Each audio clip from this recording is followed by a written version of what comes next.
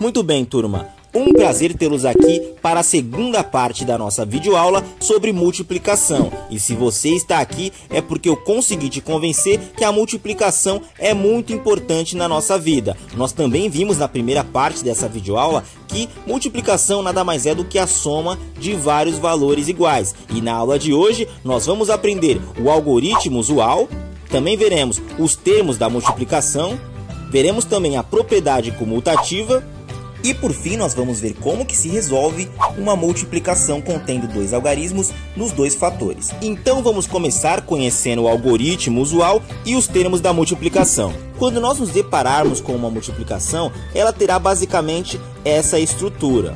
Ao número que nós temos em cima, que no caso aqui é o 4, nós chamamos de fator.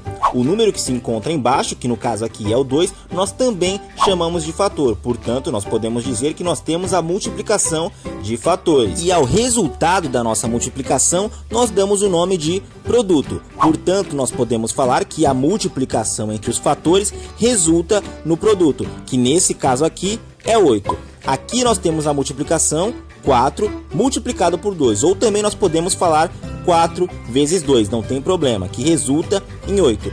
E galera, aqui o que nós fizemos nada mais foi do que a soma de várias vezes o número 2. Na verdade, o que nós fizemos foi somar quatro vezes o mesmo número, que é 2. E é justamente essa facilidade que a multiplicação nos proporciona. Ela permite que nós consigamos resolver esse tipo de problema de forma muito rápida e eficiente. E uma vez conhecido o algoritmo usual e os termos da multiplicação, agora nós vamos conhecer a propriedade comutativa. E galera, você não precisa decorar esse nome, propriedade comutativa, mas você precisa entender o conceito por detrás dele. E ele vai trazer pra gente uma frase que vai te acompanhar o resto da tua vida, que é a seguinte: a ordem dos fatores não altera o produto. E para você entender essa propriedade comutativa, eu vou trazer de novo aqui aquela mesma multiplicação. Nós temos aqui 4 multiplicado ou 4 vezes 2 que resulta em 8. O que essa propriedade nos diz é que não importa a ordem dos nossos fatores, a posição dos fatores,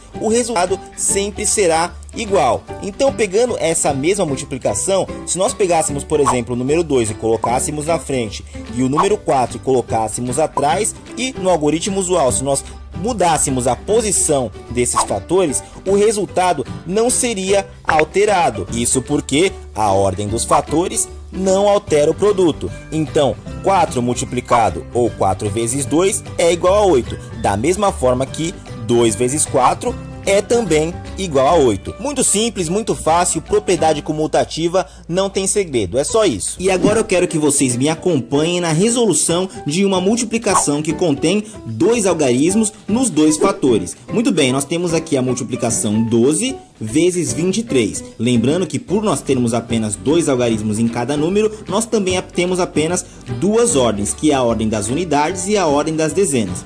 E sempre que nós nos depararmos com este algoritmo usual da multiplicação, nós teremos de resolvê-la da seguinte maneira: nós teremos que multiplicar todos os algarismos do primeiro fator com os algarismos do segundo fator. Depois nós efetuaremos uma adição e só assim nós teremos o resultado ou produto da nossa multiplicação. Muito bem, vamos começar multiplicando o algarismo 3 pelo algarismo 2, lembrando que esses dois algarismos se encontram na ordem das unidades, portanto nós temos 3 vezes 2, que será igual a 6, 6 unidades que são colocadas aqui na sua respectiva ordem. Agora nós vamos multiplicar o próximo algarismo por 3, que é o algarismo 1, que se encontra ali na ordem das dezenas. Portanto, nós temos 3 unidades vezes uma dezena. E aqui, galera, vocês podem perfeitamente falar 3 vezes 1, pois para efeito de cálculo não vai ter diferença nenhuma. Portanto, 3 vezes 1 é igual a 3. Nós colocamos esse número 3 aqui e percebam que agora nós temos aqui 3 dezenas e 6 unidades. E turma, nesse espaço aqui embaixo do algarismo 6, nós podemos fazer duas coisas. Nós podemos acrescentar aqui o sinal de adição, o sinal de mais, ou nós também podemos acrescentar o zero. E por que isso, professor? Isso porque agora nós vamos multiplicar um algarismo que se encontra na ordem das dezenas, que é o algarismo 2.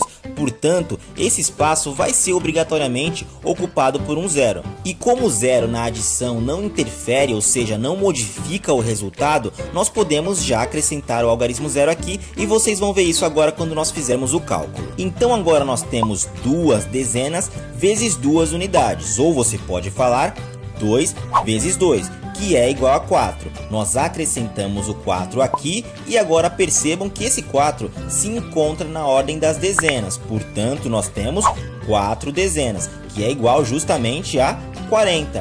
Por isso que nós acrescentamos aqui antecipadamente o algarismo zero. Ou caso vocês quisessem, também poderiam colocar o sinal de adição, o sinal de mais, que estava tudo bem. E agora nós multiplicamos o próximo algarismo, que é o algarismo 1. Portanto, nós temos 2 vezes 1. E percebam que esses dois algarismos se encontram na ordem das dezenas, portanto, ele vai resultar em mais uma ordem, que é a ordem das centenas. 2 vezes 1 é igual a 2.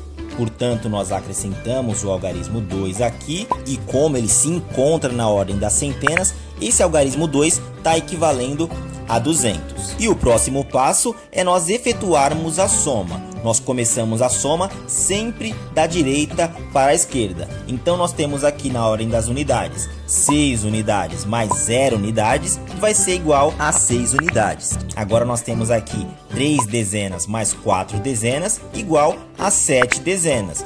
E por fim, nós temos aqui simplesmente duas centenas. Então nós acrescentamos o algarismo 2 aqui e nós chegamos no nosso resultado, que é 276. Portanto, nós podemos falar que a multiplicação entre os fatores 12 e 23 tem como produto 276. Muito bem, turma. A nossa aula de hoje foi essa. Nos encontramos na próxima aula. Desejo a todos vocês bons estudos e até lá.